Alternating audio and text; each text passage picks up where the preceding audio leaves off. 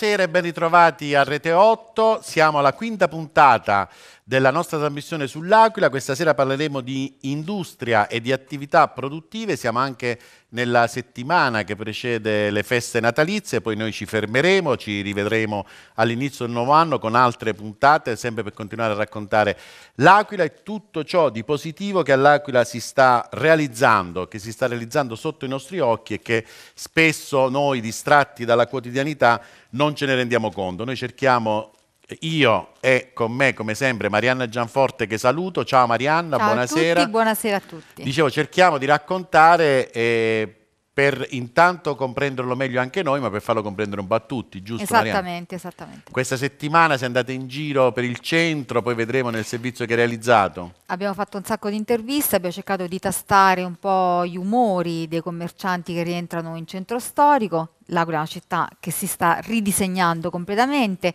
E insomma, vedremo un po' dal loro punto di vista come si fa, che fatica stanno facendo per recuperare i loro vecchi spazi. E infatti questa sera, a differenza delle altre puntate, parleremo un po' più di numeri e cercheremo di capire attraverso con i nostri ospiti eh, dove stanno andando da un lato i finanziamenti, ma soprattutto come si sta ridisegnando la mappa del, dell'industria e delle attività produttive. Per farlo abbiamo due ospiti molto importanti, io partirei dal padrone di casa perché intanto ci ha ospitato e di questo io lo ringrazio, infatti siamo nella sede della Camera di Commercio dell'Aquila con il Presidente della Camera di Commercio dell'Aquila, Lorenzo Santilli. Buonasera Presidente. Grazie, buonasera a lei. Intanto grazie per l'ospitalità perché in questi giorni siamo venuti un po' a disturbare per, anche per la logistica e anche per tutto è quello... Un, è un piacere, è un piacere. Grazie. E poi abbiamo il Vicepresidente della Regione Abruzzo, Giovanni Lolli, Buonasera Presidente. Buonasera a tutti voi. Che noi ringraziamo in maniera particolare perché sappiamo viene da un pomeriggio molto complicato e quindi eh, a maggior ragione intendiamo ringraziarlo. E in questo viaggio che abbiamo iniziato ormai eh, da un paio di mesi ci accompagna dall'inizio anche l'Accademia di Belle Arti dell'Aquila eh, che qui è rappresentata degnamente o indegnamente, lo chiederemo poi ai vertici dell'Accademia di Belle Arti, è rappresentata da Alessandro Lafroscia. Buonasera Alessandro, come stai? Buonasera, tutto bene? Tutto oggi ho avuto un po' di problemi logistici per arrivare perché qui siamo a Bazzano, non è proprio facilissimo arrivare, giusto? Ce l'abbiamo fatta come sempre. Ce l'abbiamo fatta. Io chiederei intanto a Donatello Ricci in regia, che ringrazio, di farci vedere la vignetta che ha realizzato nel, nel corso dell'ultima puntata Alessandro. Eccola qua, eravamo alla sede del Parco Nazionale del Gran Sasso, vediamo un, un presidente Tommaso Navarra nei, nei, panni del guerriero di Capestrano, se non mi sbaglio, la Cristina Gerardis su un camoscio, Antonio Carrara che si affaccia dietro alla vetta del Gran Sasso e io, suppongo sì, per la prima volta vengo meno peggio del solito, caro Alessandro, che mi fai pure un po' alla lolli, atletico, diciamo, che scalo la cima del Gran Sasso. Non mi allargo, no, no, non mi Però diciamo, mi ha fatto per la prima volta atletico che non rompo gru o cose con la mia mole e quindi grazie Alessandro, questa sera più tardi vedremo che cosa, che cosa hai in mente. Allora, io partirei subito con il presidente eh, Giovanni Lolli. Questa sera parleremo appunto di eh, industria e attività produttive e io mi sono fatto una scaletta, Presidente, con una serie di progetti che il suo assessorato sta seguendo. Partirei in questa chiacchierata eh, dai contratti di sviluppo locale. Sono contratti molto importanti eh, che prevedono un investimento da parte di grandi aziende e un cofinanziamento pubblico significativo. Io ho scritto alcune di queste aziende, la Gelco, Valagro, eh, Texol, Filmet, Fimeco, stiamo parlando di finanziamenti comunque sempre attorno ai 3-4 milioni. Ci vuole dire in maniera più specifica di che cosa si tratta e chi ne sta usufruendo? Dunque io farei obbligatoriamente una piccola premessa. noi siamo una regione molto industrializzata, inconsapevolmente, cioè la gente non lo sa, ma noi siamo una regione molto industrializzata. E anche questa provincia è una provincia e anche questa città è una città industrializzata, con la presenza di industrie importanti, soprattutto grandi, medio-grandi industrie, molto importanti. E naturalmente è un'industria che, come per altri settori e altri territori, ha subito pesantemente la crisi che c'è stata in questi anni, tuttora vi posso assicurare perché ho una certa propensione a seguire i problemi, tuttora sono aperte decine di crisi industriali, però fondamentalmente c'è un settore industriale, un corpo industriale, una struttura industriale di fondo che non solo ha retto, ma secondo gli ultimi dati adesso sta andando meglio. Ma noi dobbiamo capire che cosa diventerà l'industria da, da qui a qualche anno, perché siamo nel cuore di una trasformazione radicalissima, di cui forse non ci rendiamo conto.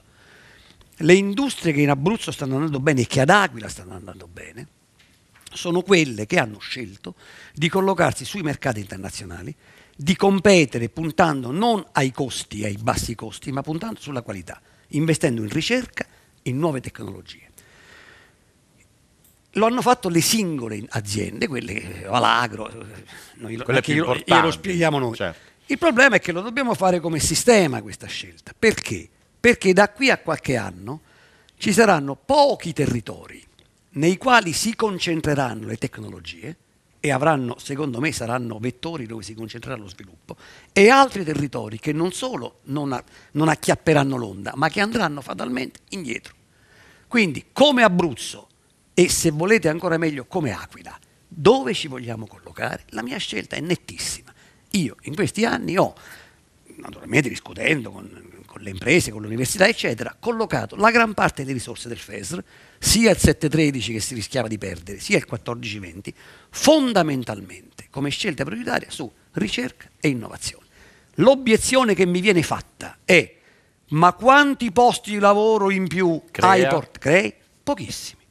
Ma la mia controobiezione è se io mi fossi limitato a difendere, se noi ci volessimo limitare a difenderci, a provare di conservare quello che c'è oggi, a cercare, come dire, di arginare il declino. Tra 4-5 anni non siamo morti. più nulla. Noi, vi faccio degli esempi e finisco.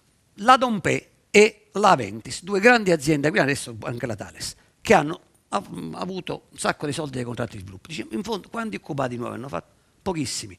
Ma la Dompe era una manifattura, era una struttura manifatturiera che eseguiva qui ad Aquila mh, eh, tecnologie e prodotti che si facevano altrove. Oggi quell'azienda è un hub internazionale del sistema della multinazionale. Che può attirare, in questo senso lei dice che può attirare altre Aver aziende scelto, aver scelto, finisco, aver scelto di portare qui, in Abruzzo e in particolare ad Aquila, il 5G, che non è che ce l'ha regalato qualcuno, eh, Certo. non è che siamo stati estratti a sorte, ci sono state battaglie, Delle scel- scelte. scelte, aver scelto di portare qui, aver fatto il Gran Sasso Science Institute, eh, mh, continuare a scegliere queste cose, vuol dire che tu hai creato le condizioni perché tra qualche anno la vera occupazione verrà dal sistema di imprese nuove o piccole che ci sono che si aziende. costruiranno. Se volete vi faccio anche poi qualche esempio di Certo, come ma poi entreremo, già funziona in entreremo alcune nello parti d'Abruzzo. Questo contrappunto, diciamo, questa sera tra la grande industria, le attività produttive e la Camera di Commercio, che pur occupandosi diciamo, di grandi sistemi, però ha una dimensione diciamo, economica da questo punto di vista mh, meno significativa, però ci può aiutare a comprendere i- i due- le due velocità e comunque le, le due dimensioni. E infatti con il Presidente Santilli volevo partire in una piccola ricognizione delle vostre attività dal progetto Abruzzo, un'iniziativa che non riguarda solo la Camera di Commercio dell'Aquila, ma riguarda l'intero sistema camerale che punta proprio alla valorizzazione dei territori, delle tipicità, delle eccellenze e dei borghi, che ovviamente, come mh, suppongo nelle scelte di cui appena ha iniziato ad accennare il Presidente Lolli, anche voi avete probabilmente indirizzato dopo il terremoto verso altri lidi. Io però vorrei riallacciarmi un attimo a quello che ha detto il Presidente Lolli, perché oggi, eh, in questo poco fa, eh, il Presidente ha illustrato una situazione imprenditoriale di- importante di questo Paese, di questa regione. Questa regione è connotata, così come tutta Italia, da un 90% di piccole e medie imprese. Micro, microimprese sono tantissime all'interno di di questo mondo, le quali però avranno la necessità di adeguarsi non a quello che fa la grande impresa, ma avranno la necessità di adeguarsi a questa nuova rivoluzione che in, eh, il sistema camerale chiama impresa 4.0 perché riguarda tutto il sistema delle imprese, mentre un certo settore, che è quello del mondo industriale, lo ha fatto riferimento a Industria 4.0, quindi la nuova rivoluzione industriale. Eh, attraverso, e per queste ragioni che il sistema camerale regionale ha individuato un settore con un doppio obiettivo. Primo di adeguarlo a un sistema che è il turismo, di, adeguarlo a questo, a questo nuovo a questo nuovo che avanza quotidianamente e che ci fa immaginare che un giorno sia già ieri, molto ieri, non ieri soltanto, ma mm, sia, sia superato, ma che eh, deve, doveva avere anche un senso, quello di, di, di ridare un'immagine a questa regione che per qualche anno eh, dal, dai vari disastri ambientali ha poi avuto un'immagine negativa nel paese, quindi cercando di riposit riposizionarla sotto questo aspetto, ma anche di dare strumenti a tutto il sistema turistico per un'azione di un'attività di digitalizzazione di cui si deve dotare per adeguarsi ai nuovi mercati. Torniamo per un attimo su Progetto Abruzzo, sì. perché eh, questi temi, la valorizzazione dei territori, tipicità, eccellenze e borghi, sono dei temi diciamo, trasversali, che sono diciamo, degli evergreen, sono dei temi che, di cui si discute sempre. Io volevo capire con lei se eh, nel caso specifico, dopo il 2009, insieme alle altre Camere di Commercio, invece avete deciso di puntare più su alcuni aspetti piuttosto che su altri. Beh, abbiamo deciso di eh, far sì che un'azione, una forte azione di formazione qualificasse l'attività del sistema turistico che in questa nostra regione ne ha particolarmente bisogno. La cultura dell'accoglienza non è una, una, cosa che nasce eh, così semplicemente, in altre parti nostra, del nostro paese ha una lunga tradizione, da noi abbiamo avuto fino ad oggi un, un'azione quasi eh, fatta dall'individualità del soggetto che svolge questa attività.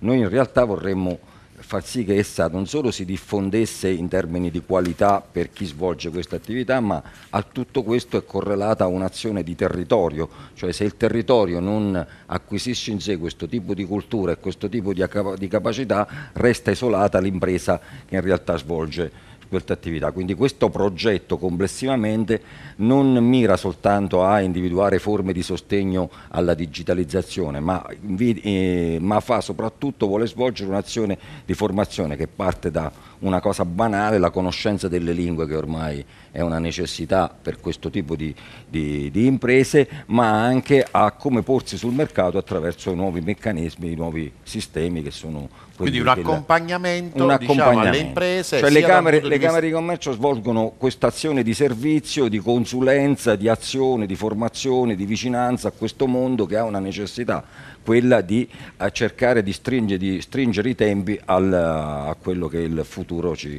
ci, ci, dà, ci viene di fronte. Presidente Lolle ha fatto giustamente, ha inquadrato la situazione sulle scelte di fondo, cioè, eh, lei ha, ha, detto poco fa che ha fatto una scelta che guarda un po' più avanti, non guarda solo all'oggi. E volevo però, se lei è d'accordo, eh, ci torneremo sulle scelte di fondo, però analizzare anche alcuni aspetti più specifici. In particolar modo, in questa prima parte, diciamo in questo secondo intervento, volevo chiedere rispetto al, al bando Smart and Start, eh, stiamo parlando di 13 milioni di euro, le volevo chiedere una cosa perché mi era venuta in mente studiandomi le carte, insomma, per prepararmi la trasmissione. Le volevo chiedere se lei è d'accordo sul fatto che questa cifra, cioè 13 milioni di euro, in parte non ancora utilizzati, non sia stata una cifra in realtà sovradimensionata rispetto alla, alle potenzialità dell'area a cui è destinata, cioè nel senso che, mi spiego meglio, il fatto che la cifra non sia stata ancora del tutto utilizzata potrebbe essere relegata al fatto che sia stata sovradimensionata quando è stata, quando è stata pensata, o mi sbaglio? Non lo so, parliamo di un'azione che è gestita da Invitalia, no. Sono state diciamo, selezionate 33 imprese del cratere. Eh, in ogni caso il problema non è così grave perché è stabilito che quei fondi, che sono i fondi del 4%, nella parte, nell'asse che riguarda le imprese, sono fondi fungibili. Diciamo, non è che non avendo tirato fino in fondo Smart Start si perdono i soldi, vengono spostati sulla 181 oppure sul contratto. Di cui parleremo più avanti. Sì. Eh, no, io vorrei piuttosto, se posso, sì. mm, integrare le cose che dicevo prima anche raccordandomi. È del tutto vero noi abbiamo una economia duale in Abruzzo. Il 90% delle imprese sono imprese di meno di 9 dipendenti e occupano però il 50%. E stanno queste imprese qui è il vero problema, perché queste imprese, siccome operano sui mercati interni, sono oggi ancora alle prese con problemi drammatici, il cui problema principale, poi spero che ne possiamo parlare, è l'accesso al credito. E è chiaro che noi dobbiamo portare anche queste verso l'internazionalizzazione, ma primum vivere deinde filosofare. Noi prima le dobbiamo far sopravvivere, per questo il credito è decisivo. Ma io che cosa ho chiesto l'altro giorno al sistema delle grandi imprese dopo che le abbiamo finanziate? Adesso tocca a loro, anche mettendoci dei soldi, di promuovere le reti e le filiere. Si può fare.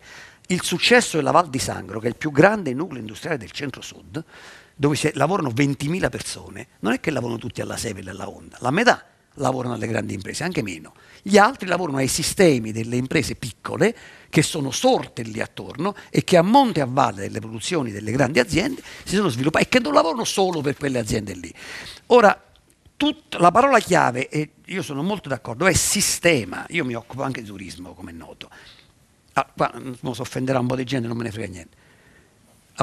Ma noi non è che possiamo raccontare le, le, barzellette. Se io vado a sciare in Dolomiti e mi faccio l'abbonamento allo ski pass dolomitico e con quello ski pass ci vado, e se vado a sciare a Passo Lanciano e vi devo fare tre ski pass, ok? Oppure se aver fatto gran, uno degli investimenti strategici più di 100 milioni di euro che ha fatto la regione per le piste ciclabili e la ciclovia del mare, eh?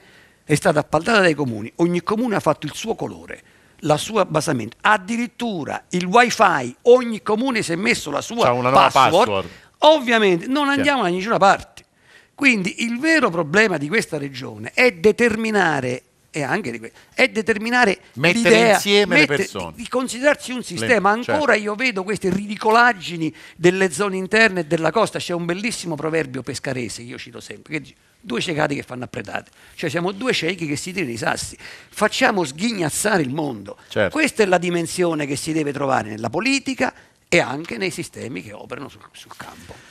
Allora, tra i nostri ospiti questa sera eh, lo farei intervenire subito. Marianna, c'è il direttore della Confcommercio dell'Aquila, Celso Cioni, che intanto a cui do il benvenuto e ringrazio per aver partecipato. Prima che di passare il microfono a Marianna, che impressione da, queste, da questo primo giro di domande al, all'Olli e Santilli? Buonasera a tutti, intanto ringrazio la rete che si occupa di questi temi e lo fa meritoriamente soprattutto per mettere in luce le cose positive dell'Aquila e dell'Abruzzo. Non è un fatto che accade frequentemente e quindi lo voglio segnalare. Il secondo, visto che siamo a pochi giorni, a poche ore quasi, dalle feste, dalle festività natalizie, io credo che salutare quei 60-70 mila piccoli imprenditori dell'Abruzzo per tutto quello che hanno fatto negli ultimi anni e quello che faranno nella prossima stagione. Un augurio con affetto da parte di noi e anche un applauso dall'Aquila. Praticamente totalmente disinvolto davanti alle telecamere, chiamato anche l'applauso, io non lo chiamo mai, hai fatto bene però. Perché se lo meritano questi imprenditori, sì. per quello che hanno passato negli ultimi anni a mani nude, affrontando una crisi davvero difficilissima, però stanno qua a combattere, ad alzare le saracinesche, a tenere le, le vetrine accese che sono il cuore pulsante del nostro Abruzzo. Marianna, prego. Direttore, io volevo cominciare, volevo riprendere anzi il discorso con lei da dove lo ha lanciato prima il vicepresidente Lolli, l'accesso al credito, insomma il coraggio di questi piccoli imprenditori deve passare anche dai rubinetti un pochino più aperti da parte delle banche. Che cosa si può fare e qual è lo stato dell'arte, la situazione? Beh, c'è un aspetto nazionale che è sui rotocalchi all'attenzione di tutti i mezzi di comunicazione negli ultimi giorni con le commissioni di inchiesta. Ricordo che nel 2012 io mi barricai dentro la sede della Banca d'Italia, non per divertimento, ma per segnalare che c'era qualcosa che non andava. E devo dire che qualcosa sta cambiando, ma bisogna fare ancora molto con il Presidente Lolli abbiamo fatto numerosissimi incontri con i responsabili degli istituti di credito perché laddove c'è stata una difficoltà enorme negli ultimi anni da parte delle piccole imprese di avere credito, noi crediamo che sia necessario intanto svincolare le manipole della politica rispetto al sistema del credito e questo sta avvenendo in maniera abbastanza chiara ed evidente, quello che è accaduto negli ultimi 15-20 anni. E lo dico anche da ex bancario perché ho lavorato per 13 anni nella mia prima carriera professionale e soprattutto dare fiducia oltre che andando oltre i rating che sono dei numeri, che sono delle piccole formule matematiche, perché dietro una piccola impresa c'è una famiglia, c'è una storia, c'è l'onore anche di, di, tante persone che spesso si sono sentite chiamate al telefono per dire domani protestiamo un assegno, domani ti revochiamo il fido e per un imprenditore vuol dire quasi domani ti uccidiamo. Questo dal, dal, dal 2012, quando mi barricai, per fortuna è cambiato è cambiato anche il modo di, di, comportarsi da parte delle banche, perché credo che le persone che non avevano colpa, perché non andavano a giocare nei casino o a, dire, a invitare ballerine propri, nelle proprie attività, c'era una difficoltà vera, questi imprenditori hanno avuto la forza di affrontarla con le misure di sostegno che attraverso il sistema dei confidi, che è un altro nostro baluardo che sorregge le piccole imprese, noi crediamo che questo lavoro deve andare avanti e deve dare la possibilità a questi imprenditori di vedere una prospettiva che negli ultimi anni è stata molto buia, ora si intravede qualche, qualche spiraglio e quindi va in, incoraggiata ancora una volta questo percorso. Direttore, una crisi che all'Aquila è doppia perché c'è stata la crisi, insomma quella esplosa tra il 2007 e il 2008 che ancora fa sentire i suoi effetti e la crisi del terremoto che ha tolto diciamo, su due piedi i beni immobili, eh, un tessuto eh, com come dire, commerciali a cui rivolgersi anche, cioè degli utenti, un'utenza perché la, la, popolazione si è appunto sparpagliata. Questa seconda crisi eh, come è stata affrontata dal sistema commerciale? Lei ha seguito la, la, la storia fin dall'inizio, abbiamo fatto tanti viaggi in, in, centro storico tra i vicoli ora espoliati insomma dei, dei suoi antichi negozi anche. I nostri imprenditori, soprattutto parlo del, dell'area del cratere, hanno avuto un doppio shock.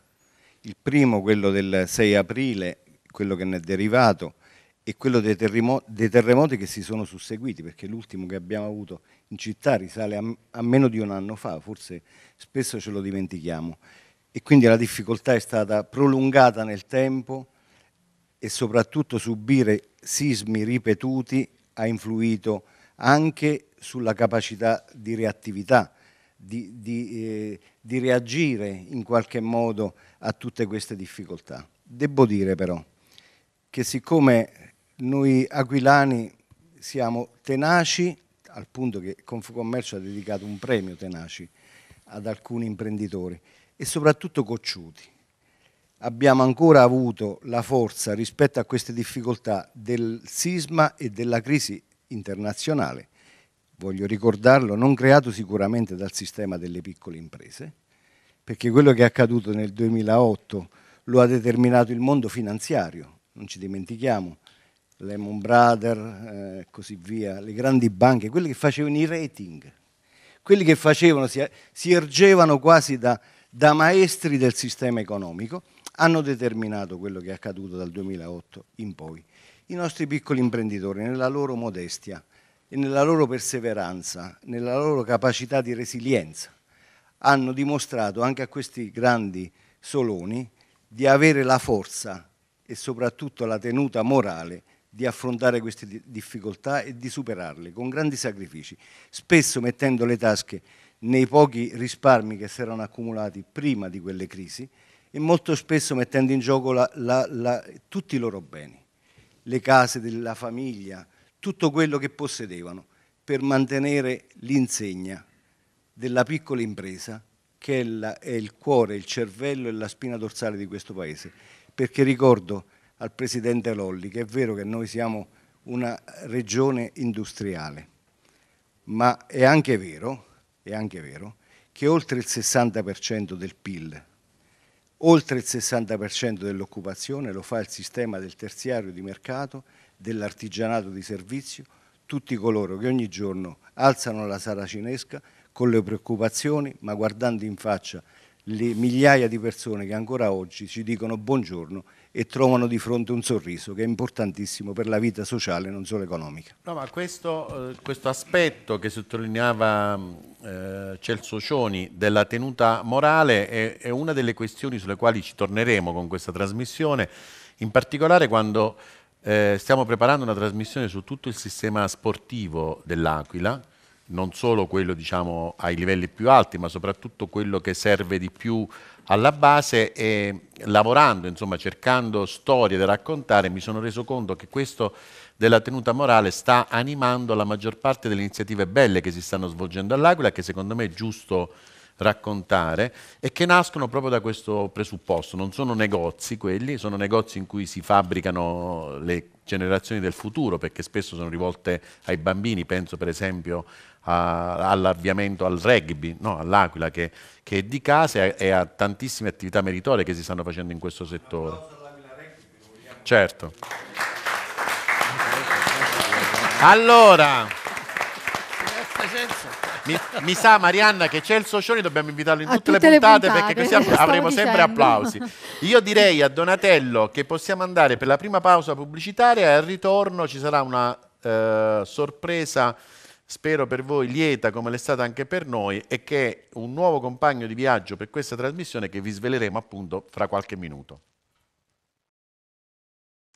Eccoci rientrati in studio, vi dicevo c'è una novità, una bella novità perché come nostro compagno di viaggio, oltre ad avere l'Accademia di Belle Arti, da questa puntata abbiamo il piacere e l'onore di avere con noi anche il Conservatorio dell'Aquila. Abbiamo questa sera qui con noi per sancire questo, questo nuovo compagno, appunto, il direttore del Conservatorio Gian Domenico Piermarini. Buonasera e benvenuto intanto. Grazie buonasera a lei e a tutti i nostri ascoltatori. Allora, di, di, questa, di, di, questo rapporto che nasce questa sera, di cui noi siamo molto contenti, sia come trasmissione che come Rete 8, ne parleremo subito dopo, però vorrei che lei ci presentasse l'artista che ha portato con lei questa sera perché avremo un breve ma eh, piacevole intermezzo musicale. Sì, appunto, dopo un invito non si va mai a mani vuote e io mi sono permesso, ho portato una nostra brillante studentessa, si chiama Claudia, Claudia Poggi, flautista come potrete vedere, che ci eseguirà alcune variazioni del Carnevale di Venezia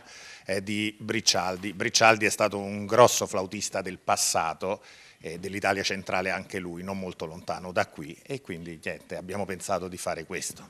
Grazie, grazie al direttore, ovviamente grazie e alla, alla, struttura intera del conservatorio. Sarà un bel viaggio questo che faremo insieme fino al, alla primavera inoltrata e io direi a questo punto di, di ascoltare Claudia Poggi nella sua interpretazione.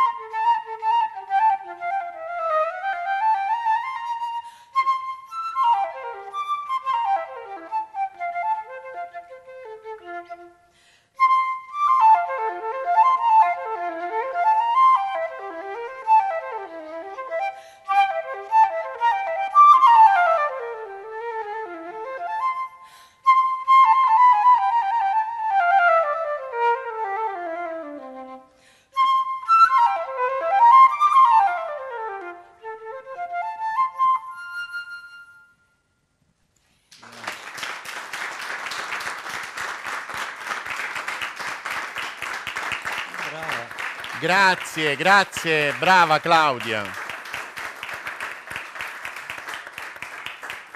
Grazie Claudia Poggi, e, diciamo si arricchisce quindi la trasmissione Marianna di musica, Sì. quindi dalla pross- da oggi, ma dalla prossima puntata avremo sempre un intermezzo musicale con il conservatorio, di volta in volta ovviamente avremo suppongo anche degli, degli, degli strumenti diversi. Allora direttore, intanto eh, noi siamo contenti di avervi con noi insieme all'Accademia, iniziamo questo percorso, magari verremo a fare anche una puntata da voi lì al conservatorio, no? Naturalmente ci contiamo, anzi.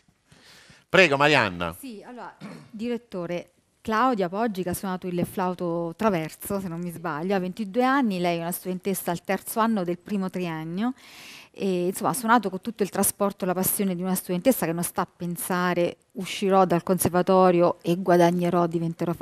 fa-". Eh, si vede insomma che va avanti seguendo la sua passione.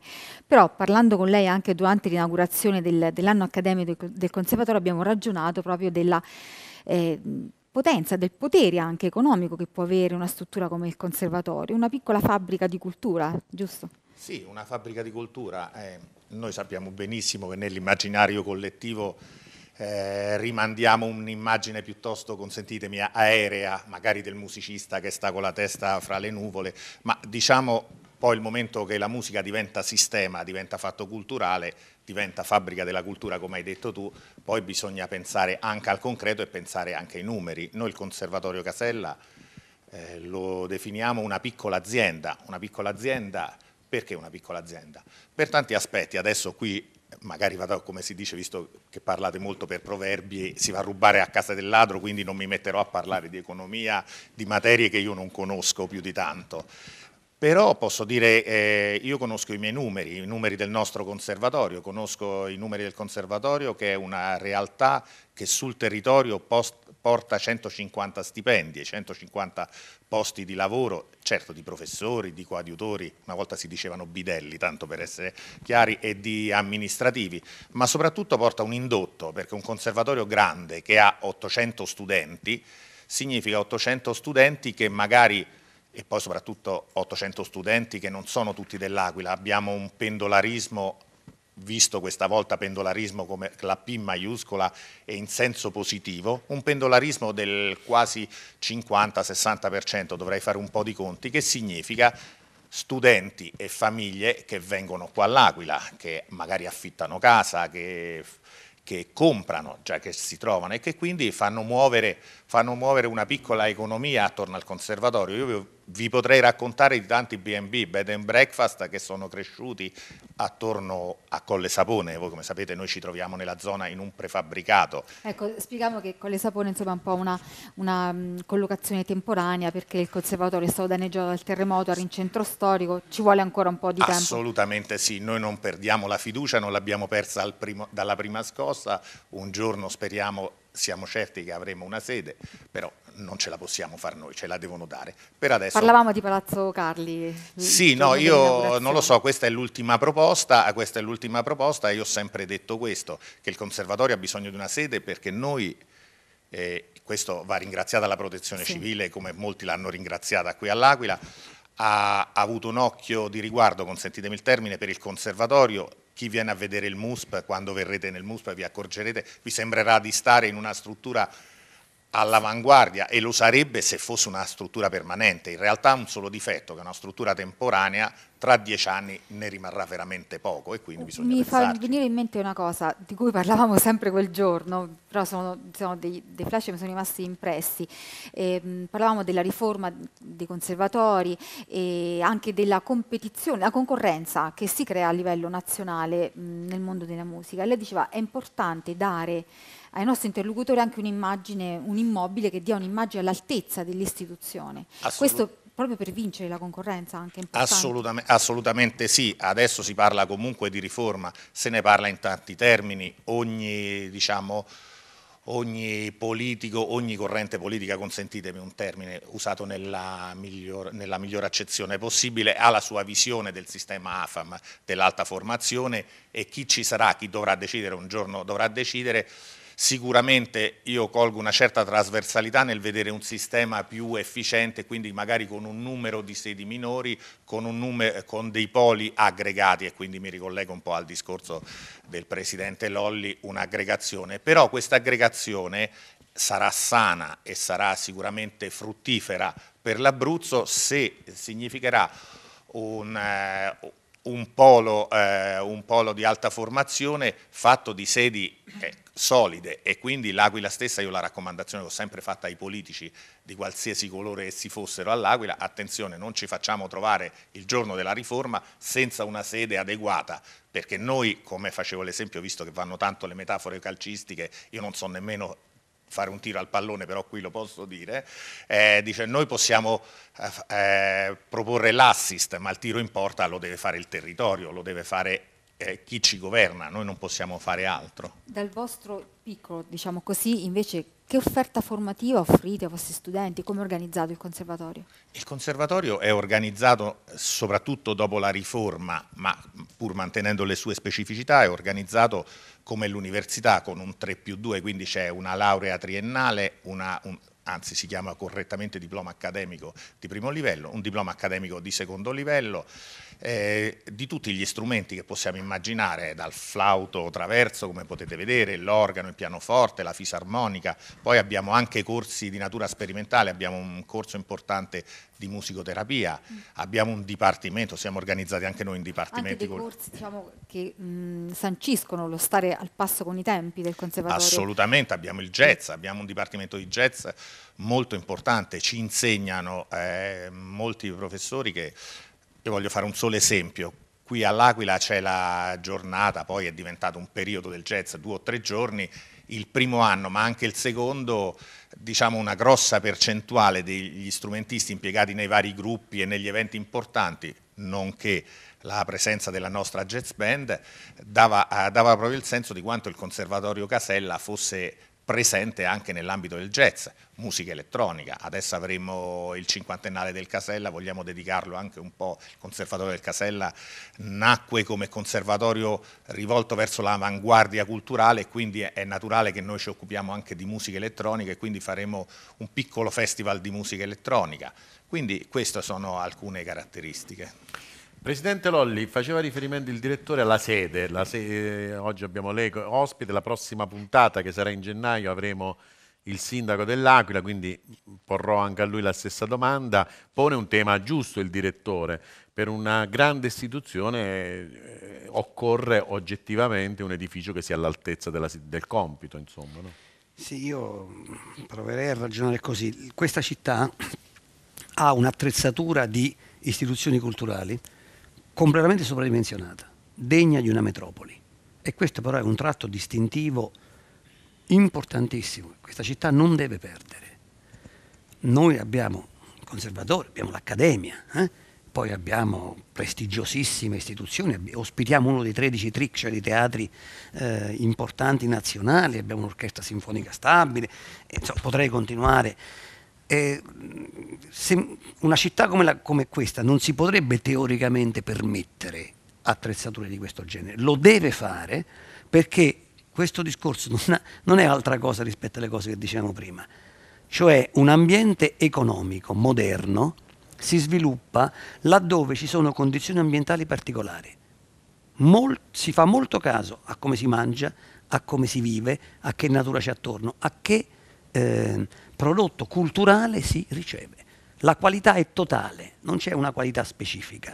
Mm, puntare sull'industria tecnologica o su un commercio legato al, al, alle tradizioni e, al, e, alla storia e avere attrezzature culturali moderne è tutto un discorso. Siccome abbiamo la fortuna di avere un patrimonio edilizio, un patrimonio edilizio fenomenale, eh, si è parlato di Palazzo Carli, che tra l'altro è dell'università, io penso che sia assolutamente normale ospitare all'interno di queste strutture, intanto le nostre strutture di eccellenza. Sottolineo che è verissimo il discorso, io mi sono occupato in un'altra vita, stiamo attenti, in Italia oggi ci sono a diverse gradazioni più di 70 conservatori, non rimarranno 70 conservatori, è ridicolo che ci siano 70 conservatori, le accademie è in parte diverse. Quindi bisogna farsi trovare pronti Ma per noi- essere... È chiaro che il nostro deve essere, ha tutte le caratteristiche per essere uno dei conservatori che rimarrà come Highlander qui alla fine. Certo. Eh, un certo punto, c'è bisogno di una ci sarà inevitabilmente. Eh, beh, è ovvio che dobbiamo stare tre, essere C'è un preparati. però, diceva il, il Santilli. Questo, Noi siamo una città così fortemente attrezzata sul piano culturale come dice Lolli. In realtà, questo ri- ricollego al progetto turismo di cui dicevo prima, noi dobbiamo avere la capacità di raccontarlo tutto questo. Cioè, io non credo che ci siano tanti nostri concittadini che sanno quello che poco fa ha raccontato brevemente il direttore del conservatorio, così come tanti nostri Intanto concittadini... iniziamo, scusi Pre- Presidente, iniziamo a raccontarlo. Sì, no, no, no, no, sto dicendo giù, ma io credo che dobbiamo, io è in termini meritori, io credo che noi dobbiamo acquisire la cultura della conoscenza del proprio patrimonio in senso generale, che è quello che noi in realtà, forse perché lo viviamo tutti i giorni, noi diamo, diamo per scontato una serie di cose che in realtà vanno raccontate e vanno proposte a tutto il mondo Certo, che in qualche maniera ha- può avere curiosità o voglia di conoscere e di approfondire a seconda delle proprie attitudini, delle proprie passioni, dei propri saperi, delle proprio- del proprio- della propria volontà di recarsi in un luogo perché è in condizione di fornire, io li chiamo così, la dico giusto per parlarle col sistema camerale, la chiamo i servizi. La cultura è un servizio ed è un servizio che molti eh, hanno la, la capacità e la forza di approfondire, ma altri hanno la voglia almeno di conoscere. Se noi non riusciamo, noi il nostro grande problema, che non riguarda soltanto l'Aquila, ma riguarda l'intero Abruzzo, è quello che raccontiamo poco chi siamo, da dove veniamo, cosa facciamo e cosa la nostra storia ci ha in qualche maniera regalato. E non lo raccontiamo noi, figuriamoci se, tanto, se molti possono arrivare a comprendere tutto questo. Da là potremmo dire che questo è un grande giacimento culturale in senso complessivo e che quindi è spendibile sul eh, piano internazionale. No, ma tra piano l'altro eh, la vita nuova che sta attraversando l'Aquila eh, nasce innanzitutto da una riappropriazione di un'identità che va reinventata tutti i giorni. Questa, per esempio, di questi luoghi d'eccellenza va raccontata. Noi, in- lo scopo di questa trasmissione è proprio questo, di cominciare questo racconto che ovviamente non può essere demandato solo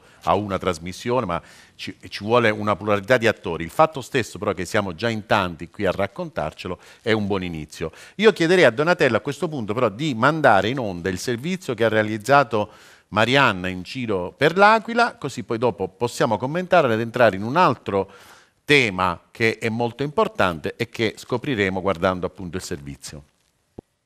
Sì, il bando possiamo confermarlo, ha avuto un successo determinante per la città, 700 domande, di cui circa 400 per rientro nel centro storico della città dell'Aquila, eh, un'aspettativa eh, interessante perché se è vero che 400 aziende vogliono tornare, o professionisti o studi professionali vogliono tornare in centro, significa che la richiesta, la voglia degli aquilani di tornare e di ricreare un tessuto socio-economico nel centro della città è tanta. Ehm, il, il bando ha, ha dato i primi risultati, quindi la linea A, cioè coloro che già erano presenti in centro prima del 6 aprile 2009 che hanno fatto domanda di rientrare hanno preso quasi tutti il finanziamento per eh, tornare in centro. Quindi, primo risultato importante, chiunque ha fatto domanda ha avuto l'opportunità di prendere questi soldi.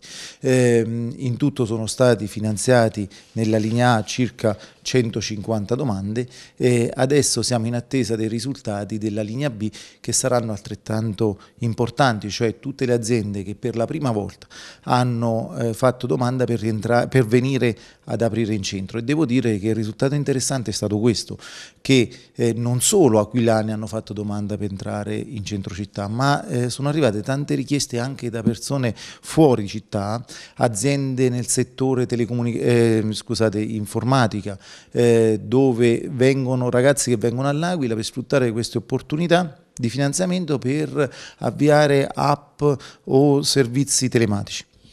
Non solo, ma ci sono anche imprenditori, piccoli imprenditori e commercianti che hanno fatto la storia della città e che non vedono l'ora di rientrare. Sì, cosa interessante sono tante attività che da ragazzino eh, frequentavo, mi piaceva vedere questi negozi per la strada, che con entusiasmo ho aiutato a fare domanda e eh, i risultati sono visti, ci sono tante aziende storiche, tanti negozi, attività commerciali storiche che eh, finalmente col, grazie al bando Fare Centro hanno avuto il coraggio di ripartire. Secondo lei che cosa manca a questo bando per essere perfetto? Ma in realtà ci si è avvicinato molto alla perfezione. La, la verità è che hanno voluto fare un bando semplice che poteva eh, abbracciare una vasta gamma di attività, dalle attività commerciali a quelle professionali, e forse si sarebbe dovuto dividere per settori. Eh, eh, però insomma la verità è che eh, non si può pretendere di avere tutto eh, in un bando. L'augurio è che invece apra un nuovo bando, che questo bando venga rifinanziato perché il successo è stato altissimo. Lei che cosa spera da questo bando? Cosa si aspetta? Beh, sicuramente mi aspetto un aiuto, un sostegno all'impresa che stiamo facendo e anche un riconoscimento in qualche modo un po' del coraggio di essere tornati a popolare un posto che effettivamente nell'immediato quando siamo arrivati era un po' deserto, non era facile e comunque un luogo ancora pieno di polvere, un luogo dove per certi versi si vive bene, si sta bene, per altri è difficile, i parcheggi non sono adeguati alla mole di gente che ci gira e, e ci sono ancora tutta una serie di problemi legati ai cantieri in corso chiaramente. Però io mi aspetto che questo bando appunto eh, riesca in qualche modo a sostenere la nostra attività per cui è stato fatto un progetto e non nascondo che anche la scelta di eh, venire in centro, di portare la nostra attività in centro sia stata non solo una scelta di, eh, diciamo di immagine, anche di sostegno alla città, ma anche in parte dovuta all'incentivo che questo bando ventilava. Anche voi, come il tabaccaio qui vicino, siete tornati esattamente dove eravate prima del terremoto? Avete risposto al bando Fare Centro? Sì, abbiamo risposto, pare che ci sia stato accordato, adesso aspettiamo, vediamo che succede. Allora, Presidente Lolli, mi pare, ovviamente è, è una piccolissima panoramica, non può essere esaustiva, però eh, diciamo, da quello che abbiamo ascoltato da persone anche diverse, mi pare che questo bando Fare Centro abbia fatto centro, cioè sia un'iniziativa intanto apprezzata, ma soprattutto un modo per rimettere in moto l'economia. Beh sì, insomma ne vado abbastanza fiero perché è stata una cosa intanto per il metodo in cui è stato fatto. Celso lo sa bene, noi abbiamo fatto una opera di ascolto, di raccolta di idee e se vorrei che fosse chiaro, ci sono stati altri bandi ad Aquila importanti, quello per esempio sul turismo, ha gestito Invitalia, è un bando che è fatto a sportello, cioè eh, chi prima arriva viene selezionato 400 domande, 330 domande, ci hanno messo due anni. A... Noi abbiamo fatto un bando a gradatoria, eh, è un po' più complicato. E 770 domande, e ci abbiamo messo per la A e la C i primi due mesi, adesso vi comunico che la linea B sarà pronta entro fine gennaio. E speravo di farcela entro dicembre, ma diciamo sono domande abbastanza complesse. Insomma, è stata una cosa innovativa, non, non l'abbiamo copiata nessuno, anzi adesso gli emiliani stanno provando con il loro terremoto a riprodurla, la rifinanzieremo e naturalmente aggiusteremo via via le cose che si possono aggiustare, ma io voglio qui dire che il ripopolamento del centro storico dell'Aquila è un grande tema, perché guardate, io sono un abitante del centro storico, prima o poi spero di tornare a casa mia, Corso Vittorio Emanuele 123, il terzo lo sai bene, il terrore che ho è pensare che sia una città che diventa una grande quinta teatrale, cioè vuota. Eh, io fui, bando fare centro ci è venuto in mente perché visitammo una volta una cittadina che si chiama Gemona per andare a vedere il modello Friuli, no? era la più grande cittadina del Friuli e lì ci dissero che il centro storico era stato svuotato e dopo 12 anni quando tornarono le 56 attività del centro storico non sono non tornate. All'Aquila sono 1200 le partite IVA, no 56, cioè l'ordine di grandezza è poco comprensibile da fuori. No?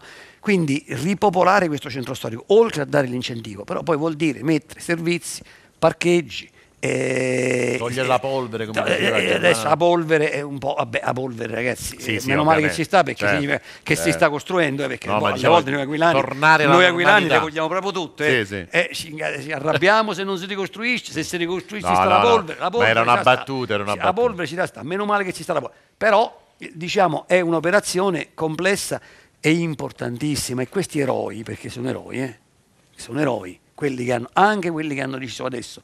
E a me mi dispiace che non siamo riusciti per la regola comunitaria a andare, perché è retroattivo il bando, siamo riusciti ad arrivare al 2014. Non siamo riusciti a finanziare quelli che sono partiti prima. Io li avrei magari, solo purtroppo le regole comunitarie ce l'hanno impedito perché va premiata questo atto di, di scommessa e di generosità. E in più, perché l'abbiamo fatto? Perché non si può lasciare ehm, insomma, eh, ci stanno un sacco di pub all'Aquila, io sono contento, però non è che l'Aquila deve diventare solo un pubificio. eh.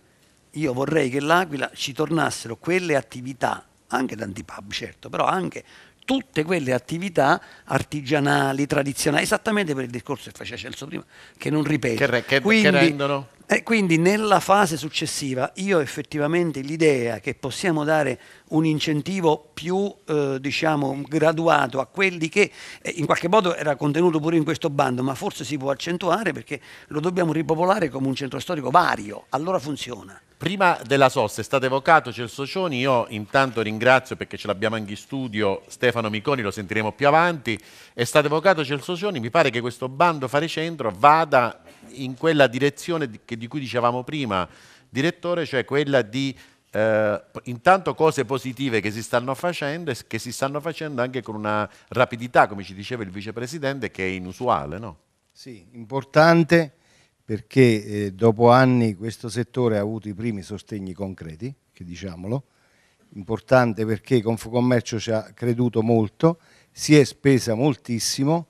Io voglio ringraziare il responsabile del nostro progetto Giovanni Gambacurta che è qui in studio Che anche qui in studio sì che che salutiamo. ha seguito eh, passo passo il metodo che poco fa sottolineava il presidente Lolli. Noi abbiamo apprezzato molto il metodo perché la condivisione, il confrontarsi, il scrivere, riscrivere. Abbiamo scritto questo bando a matita, lo abbiamo cancellato, ri- ricucito spessissimo.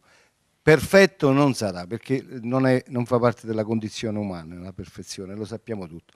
Sappiamo con l'amico Miconi che potremo fare ulteriori suggerimenti perché questo era un bando sperimentale su base nazionale. Vi dico un'ultima cosa. Che ha avuto un successo anche inaspettato forse. Io sono stato no? ospitato all'Università di Federico di Napoli, Federico II di Napoli e recentemente alla Triennale di Milano che è un'avanguardia culturale Certo. nell'ambito del progetto della rigenerazione urbana dell'Istituto Nazionale di Urbanistica. Quindi siamo orgogliosi, per dire le cose positive, che abbiamo portato questo modello lì per farlo conoscere, perché crediamo che anche nelle altre regioni che hanno condiviso purtroppo questa condizione di terra ballerina, che non finirà qua, perché sappiamo Certo. tutti che questa terra continuerà a essere ballerina come ci ha insegnato la storia, però questo sforzo che ha visto 766 imprese rispetto alle 1200 che, ricordava il presidente Lolli, quindi insomma parliamo di numeri corposi, perché chi ci paragona a Gemona piuttosto che al terremoto dell'Emilia, Dimentica la dimensione. io gioco con questo, queste vicende del terremoto dal 76 perché ero alpino e ci avevano assegnato a Gemona. Da allora ho fatto l'Irpinia, mi sono fatto l'Aquila, mi sono fatta l'Emilia Romagna, mi sono fatto un anno in Irpinia, un anno, eh, sei mesi ad Amatrice recentemente. Ogni terremoto ha una sua storia. Però questo modello è importante perché può essere replicato, ovviamente aggiustandolo a seconda della, della realtà nella quale si vive, perché qui parliamo, il monitoraggio che abbiamo fatto come Confcommercio con la Task Force nazionale, ad Amatrice c'erano 96 imprese, qua ce Certo. ne avevamo 1200, quindi Sono dimensioni infatti... è un po' diverso. Scusi, questo noi lo sottolineiamo spesso anche occupandoci di, saltando diciamo, di palo in frasca, c'è una manifestazione che si svolge all'Aquila e che mi vede anche protagonista, che è Officina l'Aquila, lì cerchiamo di raccontare appunto tutto quello che si sta facendo che è difficilmente paragonabile, perché se uno dimentica la dimensione Esatto. e, e- e vuole raffrontare terremoti diversi e situazioni diverse, sbaglia proprio il termine di paragone. E comunque la cosa che io vorrei sottolineare, che la stiamo dicendo dall'inizio di questa trasmissione, della dinamicità dell'Aquila e della sua classe dirigente in senso lato, diciamo, no? E questo bando Fare Centro è una di queste esperienze, cioè Tasselli. un'esperienza che si pone come modello di riferimento, l'altra che molto spesso è stata ingiustamente criticata il sistema di come si sta gestendo la ricostruzione con gli uffici speciali. È stata ospite recentemente in città il sottosegretario Paolo De Micheli che ha detto formalmente che quello è un modello da esportare. Quindi in questo senso, e torno prima di andare per l'ultima volta in pubblicità perché non so se se sarà, è sicuramente merito vostro, è passata già un'ora di trasmissione, ci rimane pochissimo ancora. Come diceva però il eh, presidente Santilli, ehm, la capacità di raccontarle queste cose deve essere diciamo, presente, deve essere forse l'obiettivo principale da, da adesso in poi perché raccontare le esperienze positive aiuta a eh, comportarsi poi nella vita di tutti i giorni in maniera positiva. Allora Donatello direi di andare per l'ultima volta in pubblicità e poi rientriamo per l'ultima parte della trasmissione. Eccoci rientrati quindi in trasmissione, dicevo siamo arrivati nella parte finale di questa puntata che eh, rispetto alle altre mi pare che sia andata in maniera molto più veloce, non so se per i tanti soldi di cui abbiamo parlato o dei, dei tanti progetti di cui abbiamo parlato. Allora Alessandro, che cosa stai combinando questa settimana? Allora, questa Facci settimana- vedere. Questa settimana, vabbè, l'idea principale mi è stata data da questo bando Fai Centro e quindi abbiamo rappresentato il Presidente Lolli con un arco che cerca di fare centro, un po' la Guglielmo Tell con... eh, Con Marianna Gianforte, Marianna, dobbiamo sì. sperare che non becchi Come la no. testa di Marianna. E invece Vediamo, al centro, atletico, atletico, sportivo. al centro invece vediamo il presidente Santilli che, Sì. che, che Eh, diciamo- la parte finale del disegno. Camera di Commercio, Presidente del Commercio, l'abbiamo un po' abbassato. Ah, abbiamo messo un po' di bancarelle, al uno mercato, per 800, sì. no, quindi Santilli No, a diciamo, vendere i CD. che fa il commerciante proprio, più che il presidente della Camera. Va bene. Allora io direi, ecco questo, questo non vi avevo detto, forse vi avevo detto che c'era l'Accademia, ma non vi avevo detto che cosa. Allora vi volevo far vedere le, le vignette che ci ha regalato Alessandro nelle puntate precedenti. Se Donatello Ricci ce le fa. Ecco, questa è la prima puntata. Qui eravamo al Gran Sasso Science Institute. Quello è un buco nero che sta risucchiando da sinistra verso destra il neo Nobel per la fisica, il rettore dell'Università Eugenio Coccia e la prorettrice Alessandra Fabian. Quello a destra sarei io, che è l'unica volta in cui sono venuto decentemente magro solo perché il buco nero ti sfina quando ti tira giù. Poi andiamo a vedere la seconda puntata, siamo stati a Palazzo Camponese, no, questa è la terza puntata, ma va bene uguale. Questa è la puntata in cui eravamo con eh, il presidente Elio Masciovecchio, che è quello sulla sinistra, Raniero Fabrizi, il responsabile dell'USRA, e c'è eh, Marianna che è tirata su da una gru e io che sfascio la gru perché qua sono in tutta la mia diciamo, leggerezza, diciamo così. E poi abbiamo invece la puntata da Palazzo Camponeschi con il sindaco della città, eccolo qui, ritratto con i calzari, e la rettrice dell'università e io che cerco di, eh, elevarmi al loro livello con dei piedi alati. Ecco, voi andrete anche voi in questa direzione perché quello poi il disegno sarà, poi- sarà colorato. Poi io sono appassionato di, sar- di satira, quindi questa però è una parte che riguarda un po' satira e un po' caricatura, quindi c'è una Quindi diversa, mettiamo insieme due cose. Perché c'è una storia antica. Poi magari ti faremo omaggio di una copia, di, se, se ti piace il prodotto finale, anche a lei, vicepresidente, se le sarà di suo gradimento. Diciamo. Assoluto. Allora, eh, Marianna, Io vorrei, Prego. vorrei andare su Stefano Miconi, che intanto ringrazio, mh, commercialista ma anche imprenditore, mi, mi diceva. Allora, Stefano mi ha, mi ha impressionato con una frase che ha detto quando abbiamo fatto l'intervista, e cioè eh, se non hai una meta, eh, e questa è una frase insomma, che ci si ripete tra appassionati di vela, se non hai una meta, eh, il vento è sempre contrario. Questo lo dicevamo a proposito del bando Fare Centro, ma che è estensibile insomma, a vari livelli, parlando di ricostruzione, parlando di politica, diciamo, di sviluppo. Che cosa intendeva dire? Buonasera a tutti, innanzitutto grazie per l'invito. Eh, Marianna, volevo dire semplicemente questo, se non abbiamo una strategia difficilmente otterremo un obiettivo. Eh, quello che manca oggi all'Aquila, alla Regione, eh, in assoluto è una strategia, cioè capire qual è la vocazione di questa città.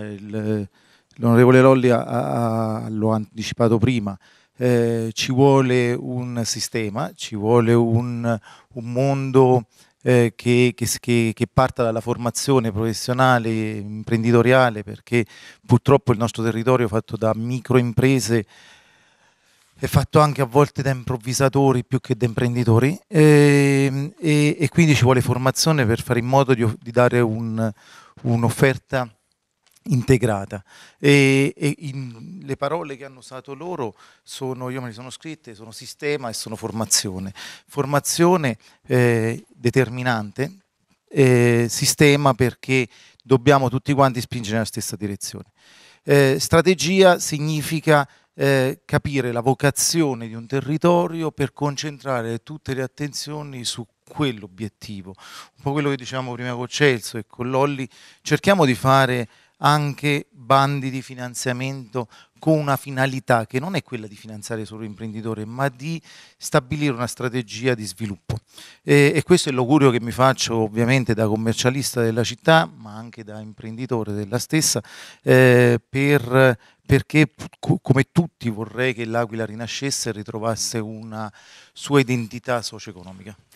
Tornando invece sul bando Fare Centro, ecco, lei ha avuto un po' il polso concreto della situazione perché ha seguito ha curato come commercialista le domande di tanti che si sono rivolti a lei, lei ha curato anche la sua stessa, la domanda per se stesso perché lei è rientrato con il suo studio in centro storico.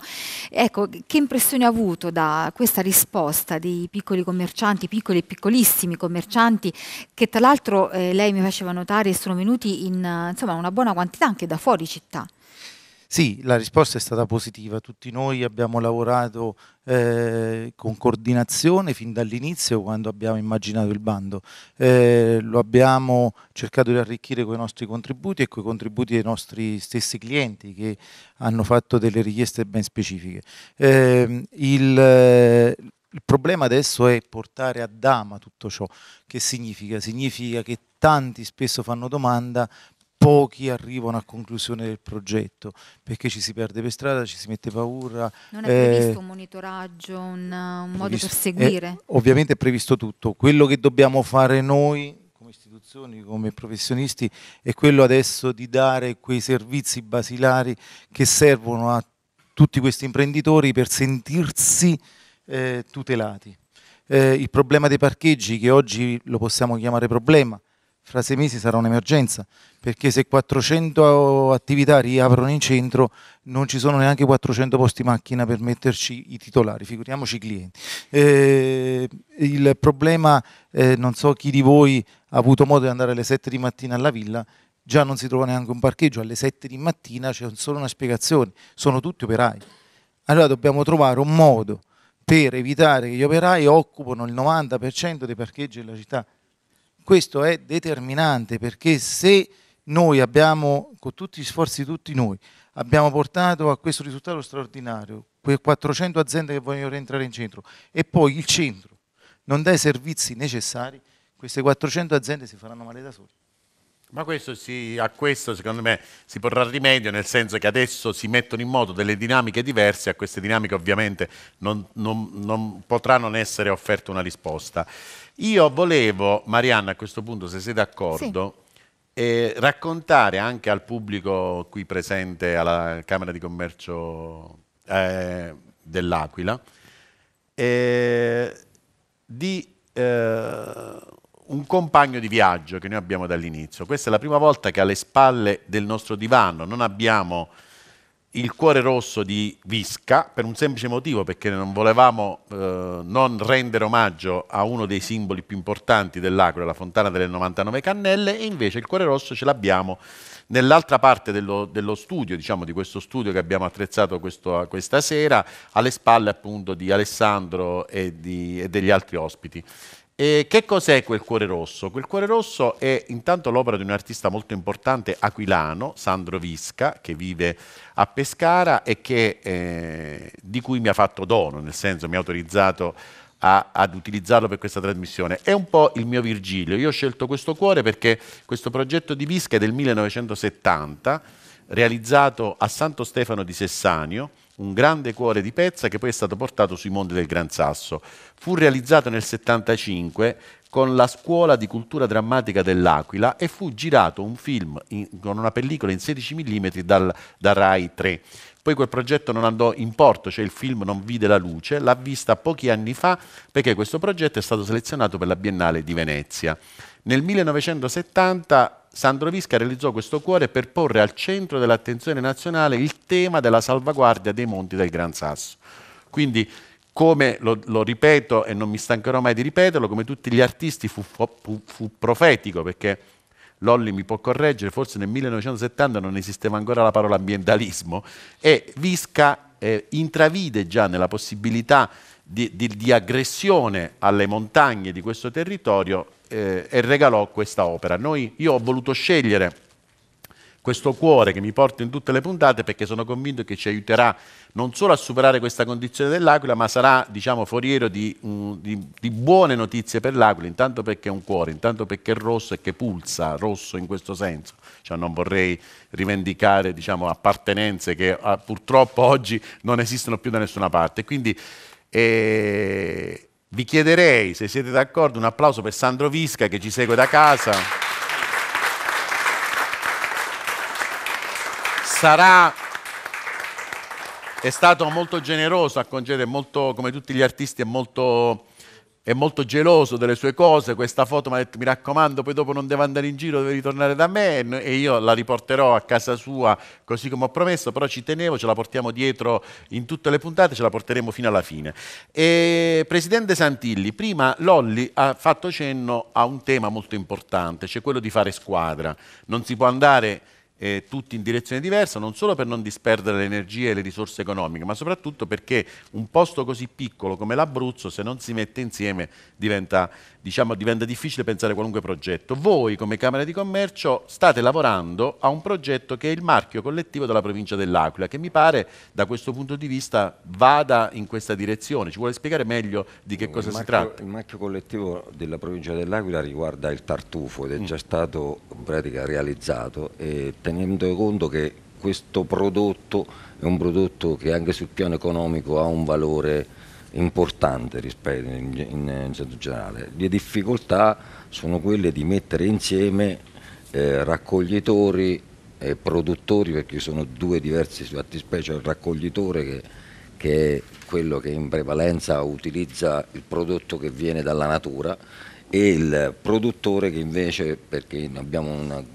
grande quantità di impianti sotto del, del, del, di impianti tartufigeni e il trasformatore. Lo sforzo che stiamo cercando di, di mettere insieme è mettere insieme queste tre entità e questa è la difficoltà che in qualche maniera per settori diversi raccontava prima il Presidente Lolli che è quella di, mettere, di fare la rete, di costruire le reti e di costruire le filiere la nostra regione è una regione che non solo vive di campanili ma vive di egoismi eh, forti, cioè le attività... Che vanno abbattuti, certo. È difficile perché anche là c'è bisogno di un percorso, di una maturazione culturale rispetto a questo che parte dallo stare insieme e dal mettere insieme dei pezzi di economia rendendole più forti e riducendo per tra l'altro costi. Questa è una parte molto complicata, molto complessa, d'altronde le tante piccole imprese del nostro, del nostro territorio, della nostra regione, sono imprese che nascono all'interno delle famiglie, si sono sviluppate così,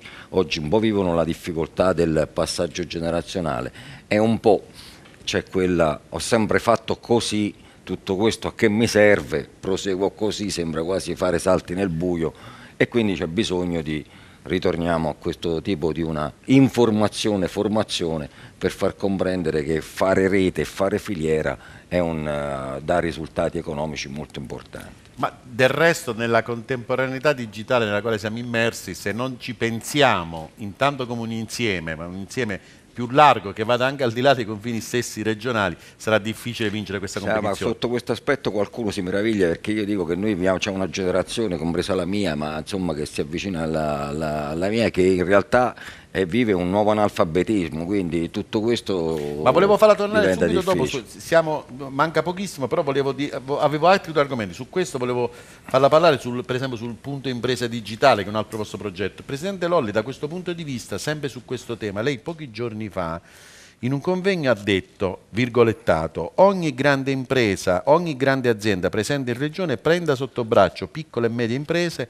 e le accompagni in un percorso di accrescimento delle capacità progettuali. Erano presenti a questo incontro Thales Italia con Sergio Gabbiati, eh, il, il Foundry con Sergio Gabbiati, Gio, Giovanni Podda Thales Italia, la Fater e la Onda Italia. Stiamo sempre nello stesso ambito, cioè mi pare un po' lo stesso ragionamento, cioè così come bisogna fare rete anche le grandi aziende devono aiutare le piccole aziende che magari non hanno risorse o know-how per, per, per, capire questo concetto. No? Tra l'altro, a parte che è doveroso dalle grandi imprese fare questa attività, è un loro interesse secondo me, perché le grandi imprese, si chiama open innovation, e la innovazione non se la possono fare tutta al loro interno.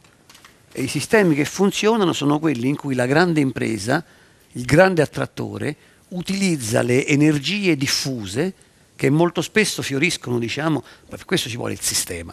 Da questo punto di vista fammi dire una cosa, mi veniva in mente ascoltandomi, sull'Aquila. Noi qualche giorno fa abbiamo ricordato un mio parente importante, zio Mario Lolli, insomma, che è un personaggio di questa città, è stato un poeta dialettale, eccetera. E, e vabbè, lì una comunità molto affollata. E, e, e Amedeo eh, a un certo punto ha letto una cosa di mio zio in cui mio zio parlava dell'aquilanità e diceva bisogna stare attenti tra l'aquilanità e l'aquilanite. Cioè l'aquilanità è questo senso di identitario che noi ci portiamo dietro, che il terremoto ha molti...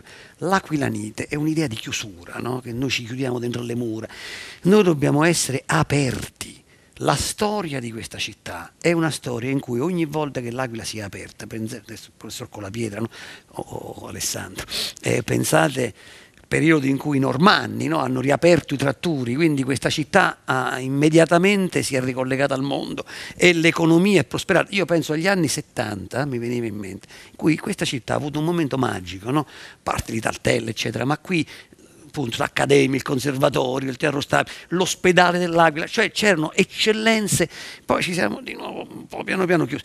Adesso il terremoto o è l'occasione per chiuderci definitivamente, ti saluto, oppure è forse l'opportunità per riaprirci.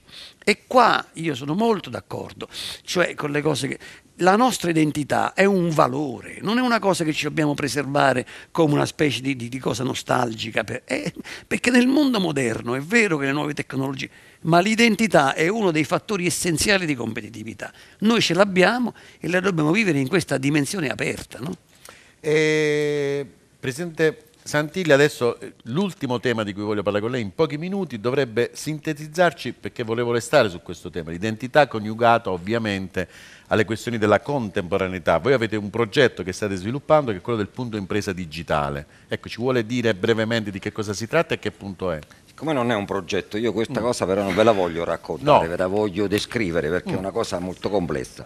Il PID è in realtà un luogo dove si svolge delle attività di informazione, di consulenza e un pezzetto di formazione, ma per descrivere il primo grande esempio di digitalizzazione complessiva della pubblica amministrazione.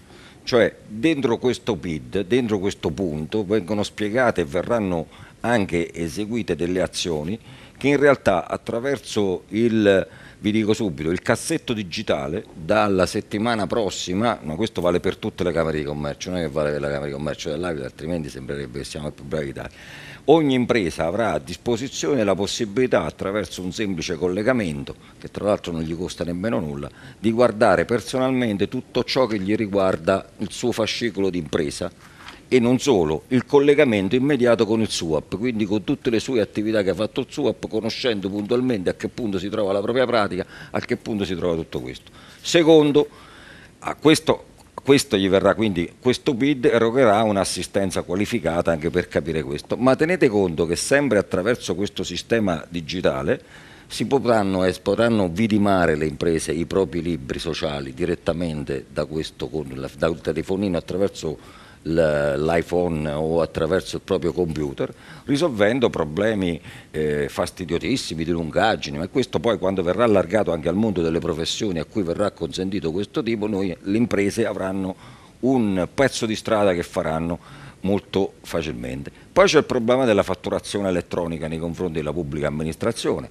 Da quest'anno, prima avevamo dato dei pacchetti gratuitamente, da quest'anno la fatturazione elettronica fatta attraverso il sistema, il sistema camerale quindi attraverso questo sistema sarà completamente gratuita per le imprese. Quindi, e, e, tenete conto che tutto questo le imprese l'hanno già pagato, quindi è una erogazione di servizi, quindi l'utilità di questo.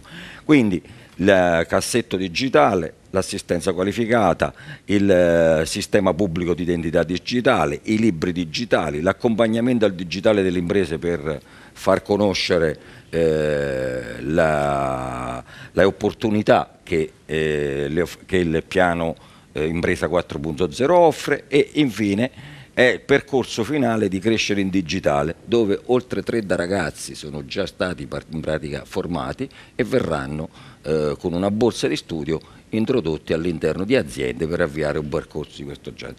Questo ve lo dovevo, mi dovevo leggerla attraverso anche questo appunto perché raccontata in maniera così, eh, così era un po' più difficile da, da, da, da comprare. Però noi di questo ne faremo una presentazione, eh, la presentazione la faremo complessivamente man mano alle associazioni di categoria e poi alle imprese, ma faremo questa presentazione anche al mondo politico, ma non per dire noi siamo più bravi, perché questa è una base importante attraverso la quale la pubblica amministrazione può utilizzare, così come ha fatto con il SUAP, dove questa provincia, che risulta essere una piccola eccellenza in Italia sotto questo aspetto, dove il 93% delle imprese e il 72% dei comuni hanno lo stesso SUAP, che è quello offerto gratuitamente alla pubblica amministrazione dalle Camere di Commercio, quindi una sola modulistica, un solo percorso, un, che dà un accesso a una riduzione soltanto dei termini di protocollo di 30 giorni, che non è poco nel nostro Paese. Quindi, questo lo dico. La semplificazione nel senso la della digitalizzazione. Quindi una collaborazione fra nel mondo, il mondo della pubblica amministrazione rispetto a quello che è già stato fatto e a quello che c'è invece di imbarcarsi in eh, nuovi percorsi che forse spesso sono molto, molto lunghi e molto, molto complessi, è un modo per poter far sì che il collegamento generale avvenga più velocemente. Perfetto, siamo arrivati quasi in chiusura. Durante l'ultima pausa pubblicitaria ho chiacchierato un po' con Claudia Poggi che prima ci ha eseguito quella, quel bellissimo intermezzo le avevo chiesto se era disponibile a farci un piccolo bis, mm, diciamo improvvisando qualcosa, mi fa cenno di sì con la testa, quindi improvvisiamo anche noi in diretta. Quindi Claudia, se ti puoi alzare, ecco qua, ci ascoltiamo un altro piccolo brano. Prego.